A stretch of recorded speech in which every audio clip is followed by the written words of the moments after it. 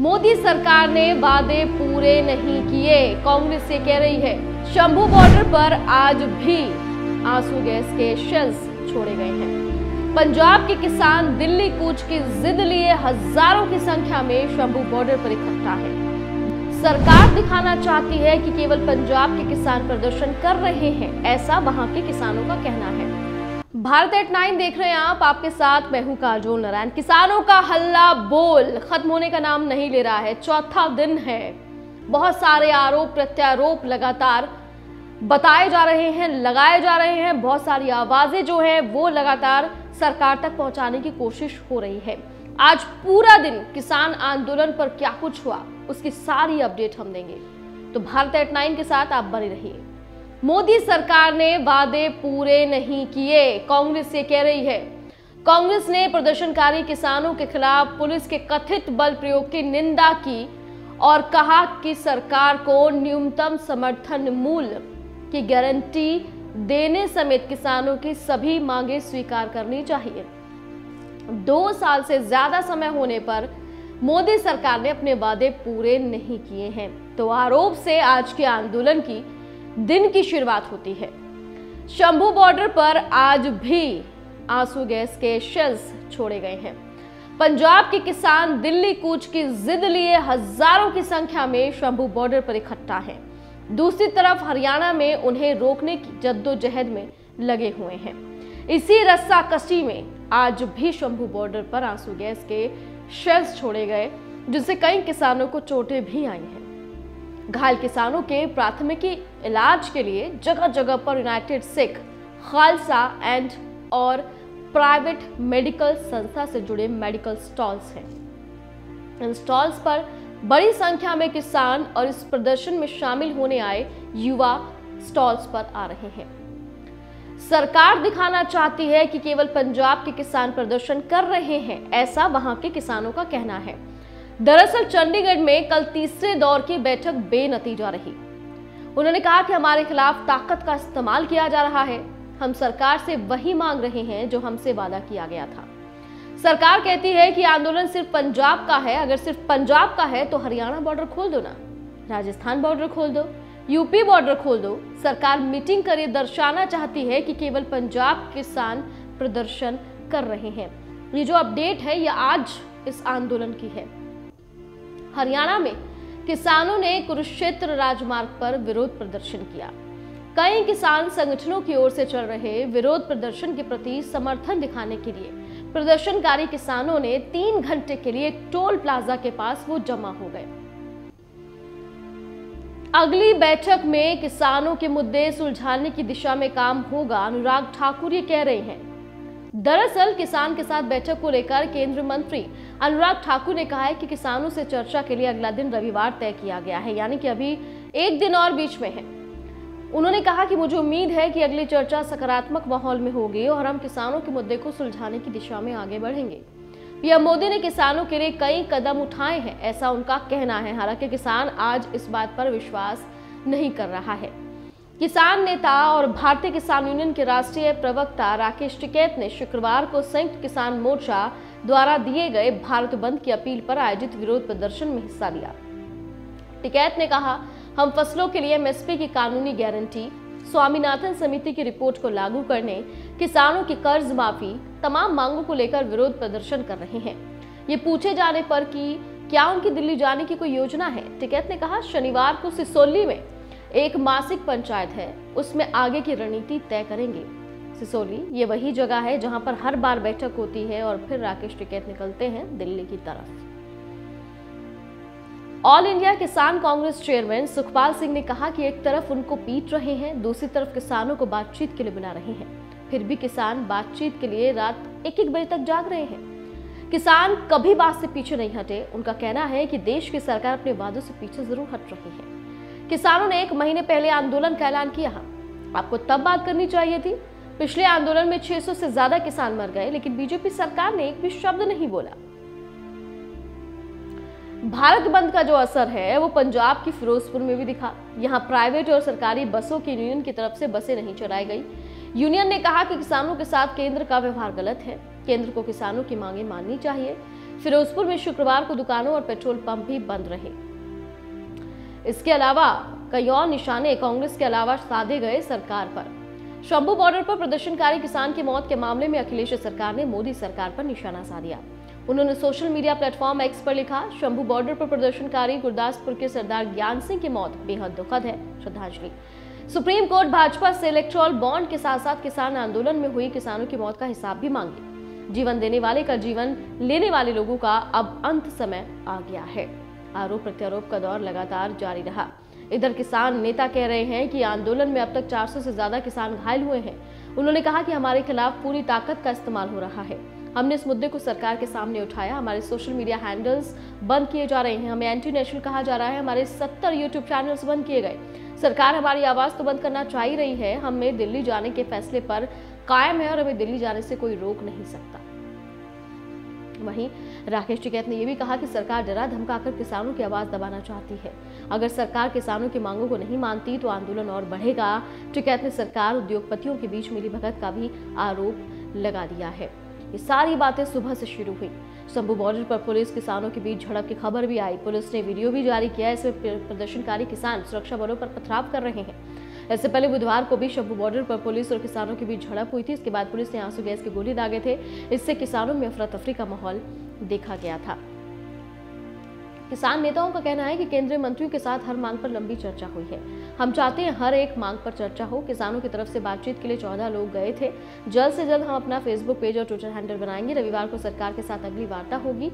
हमारे साथ देश के लोग और किसान मजदूर हैं। हमें कोई रोक नहीं सकता।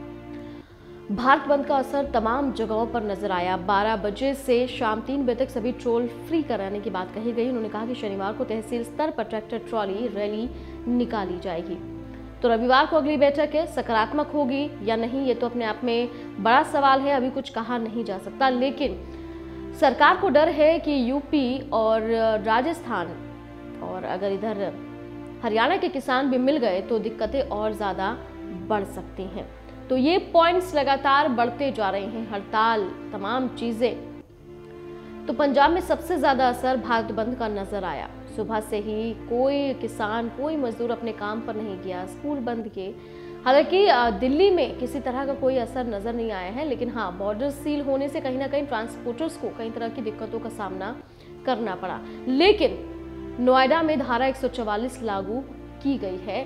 आज इस भारत बंद को लेकर और तमाम तरह की तस्वीरें भी आज नज़र आई थी। जगह जगह पर हमने देखा था कि यहाँ पर ट्रैफ़िक कहीं ना कहीं जाम था।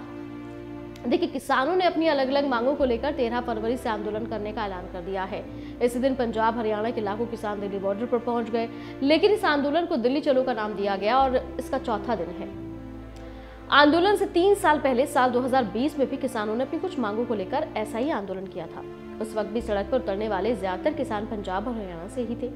अब ऐसे में एक सवाल उठता है कि इस आंदोलन में पंजाब और हरियाणा के ही ज़्यादा किसान क्यों शामिल होते हैं? आंदोलन और पंजाब हरियाणा के किसानों का क्या कोई कनेक्शन है? दरअसल भारत में रोटी, चावल और सब्ज़ियाँ सबसे आम भोजन है। चाहे व्यक्ति कितना भी अमीर क्यों ना हो और कितना भी गरीब क्यों ना हो, उनके घर राशन से लेकर डिनर तक की प्लेट में रोटी और चावल ही परोसा जाता है। अब पंजाब और हरियाणा ये दो ऐसे राज्य हैं, यहाँ सबसे ज़्यादा धान की खेती की जाती है। इन दोनों राज्यों के किसानों द्वारा उगाया गया धान ही भारत के अलग अलग हिस्सों में लोग खाते हैं और इन दोनों राज्यों के किसान भारत की खाद्य सुरक्षा के लिए अनाज का प्रमुख सूत्र है। इसके अलावा पंजाब और हरियाणा में ज़्यादातर लोगों की कमाई का ज़रिया भी खेती है। अब ऐसे में धान, गेहूँ की खेती करने के कारण उनका उत्पाद सरकारी रेट यानी कि एमएसपी पर बिकते हैं। अब जब साल 2020 में केंद्र सरकार की तरफ़ से तीन नए कानून लाने की बात कही गई थी तो उससे उन दोनों राज्यों के पिछले काफ़ी सालों से बने बनाए सिस्टम पर संकट मंडराता नज़र आया। इसलिए किसान एमएसपी को लेकर कानून बनाने की मांग करते रहे। एक्सपोर्ट्स क्या कहते हैं? गाँव कनेक्शन की एक रिपोर्ट में इस सवाल के जवाब में भारत के जाने माने विशेषज्ञ कहते हैं कि छह फ़ीसदी को एमएसपी मिलता है भारत में। चौरानवे को नहीं मिलता और उन छह फ़ीसदी किसानों में ज़्यादातर पंजाब, हरियाणा के किसान हैं। वो आगे कहते हैं कि लगभग संतानवे प्रतिशत धान और लगभग पिछहत्तर से अस्सी फ़ीसदी गेहूँ को सरकार द्वारा खरीदा जाता है। वहीं दूसरी तरफ़ बिहार में एक प्रतिशत और यूपी में सात फ़ीसदी में कम धान और गेहूँ की सरकार खरीदी होती है। राजस्थान की बात करें तो यहाँ सरकार द्वारा चार फ़ीसदी के आसपास गेहूँ खरीदा जाता है। कृषि मंत्री के पद पर रहते हुए शरद पवार ने एक बार सदन में कहा था कि भारत के इकहत्तर प्रतिशत लोगों को एमएसपी के बारे में कोई जानकारी है ही नहीं। और क्योंकि उन्हें इस बात की जानकारी है ही नहीं तो उन्हें इसका फ़ायदा भी नहीं मिल रहा। ऐसे में किसान एमएसपी के लिए संघर्ष क्यों ही करेंगे? उन्होंने आगे कहा कि भारत के अलग अलग राज्यों के किसान आज भी खुले बाज़ार की दया पर आश्रित हैं। अगर सरकार ने मार्केट का जाल फैलाया होता तो उन्हें भी एमएसपी का फ़ायदा मिलता। आप समझिए कि दोनों राज्यों की कितनी बड़ी आबादी कृषि पर निर्भर करती है। साल 2020 की बात कर लेते हैं। दिसंबर महीने में देश के उपभोक्ता मामले और खाद्य और सार्वजनिक वितरण मंत्री पीयूष गोयल ने अपने सोशल मीडिया प्लेटफॉर्म एक्स पर ट्वीट करते हुए बताया था, साल 2020 के दिसंबर तक केंद्र सरकार ने पूरे देश में तीन लाख मीट्रिक टन का धान खरीदा था। इस साल की धान की खरीद पिछले साल, यानी कि 2019 में, दो लाख मीट्रिक टन से 22 प्रतिशत ज़्यादा है। अब इस तीन लाख मीट्रिक टन धान के बदले सरकार ने अलग अलग राज्यों के लगभग 35 लाख किसानों को पैंसठ दशमलव एक एक करोड़ रुपए का भुगतान किया। इस 35 लाख किसानों में से पंजाब का योगदान करीब करीब 60 प्रतिशत था। साल 2014 में भारत में जब एनडीए की सरकार सत्ता में आई थी, उस वक्त सांसद शांता कुमारी की अगुवाई में हाई लेवल कमेटी का गठन किया गया। इस कमेटी ने एक साल बाद, यानी कि 2015 में भारतीय खाद्य नियम और एमएसपी को लेकर सरकार को एक रिपोर्ट सौंपी थी, जिसके अनुसार साल 2012 से 13 में गेहूँ और धान की बिक्री करने वाले 90 मिलियन किसान थे, लेकिन उनमें से केवल 5 प्रतिशत किसानों ने ही एमएसपी पर सरकार को अपनी उपज बेची थी।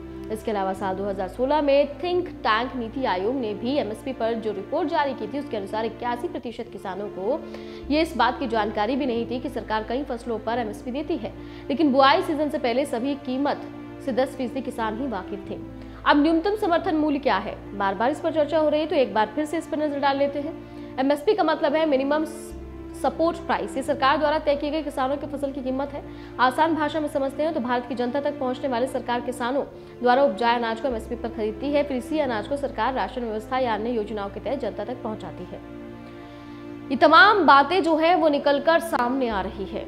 अब धीरे धीरे किसान एमएसपी को समझ रहे हैं और हर कोई चाहता है एमएसपी की गारंटी।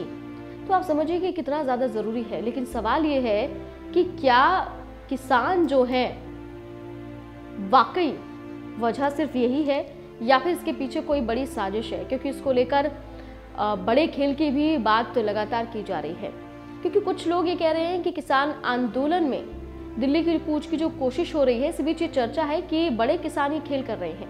ये बड़ी बड़ी महँगी गाड़ियों में चलते हैं, जीन्स पहनते हैं, इनके पास बड़े ट्रैक्टर हैं, स्मार्टफ़ोन है, लैपटॉप का इस्तेमाल करते हैं। इस पर किसान कहते हैं कि लग्जरी लाइफ नहीं, सिर पर लाखों का लोन है। उनका ये भी कहना है कि ऐसी बातें उनमें फूट डालने के लिए की जा रही है। हालाँकि किसान संयुक्त मोर्चा ने शुक्रवार को भारत बंद का आह्वान किया। पंजाब हरियाणा बॉर्डर पर बैठे किसान दिल्ली कूच की जिद कर रहे थे। इसके चलते बॉर्डर बंद कर दिया गया है। सभी बॉर्डर पर बैठे हुए बैरिकेटिंग से यहाँ पर लगातार प्रदर्शन किया जा रहा है और कहीं ना कहीं ये जो यहाँ पर महँगी चीज़ों की बात हो रही थी, इसको लेकर किसानों ने जवाब दे दिया है कि हमारे ऊपर लाखों का कर्जा है, हम लगातार आत्महत्या कर रहे हैं, लेकिन हमारी आवाज़ कोई सुनने के लिए तैयार नहीं है। किसानों का कहना है कि सबसे ज़्यादा काम करना उन्हें पड़ता है। हम ज़्यादा, हमें ज़्यादा मरना पड़ता है, हम ज़्यादा मर रहे हैं। हमें करेक्शन बोर्ड लगाने पड़ते हैं, सब कुछ इसलिए हमारे ऊपर सबसे ज़्यादा लोन है। वॉलंटियर की तरह हमें एमएसपी किसान नेता जवन सिंह पंडेर ने कहा कि पंजाब, हरियाणा और पश्चिमी यूपी में स्थित किसानों की ठीक है तो ये फ़सलें वहाँ थोड़ी सी खरीदी जा रही हैं। अगर यहाँ भी खरीद नहीं होती तो किसानों की हालत इससे भी ज़्यादा दयनीय हो जाती है। इसलिए एमएसपी बहुत ज़्यादा ज़रूरी है। एमएसपी अगर मिलता है तो शायद किसानों की हालत ठीक हो सकती है। रविवार का इंतज़ार है। हालाँकि पाँच घंटे बैठक चली है, कोई सफल रास्ता तो नज़र नहीं आया है। देखना यह है कि किसान और सरकार के बीच झुकता कौन है। एट नाइन में आज के लिए इतना ही। कल फिर लौटेंगे, किसी और मुद्दे पर बात करेंगे। धन्यवाद।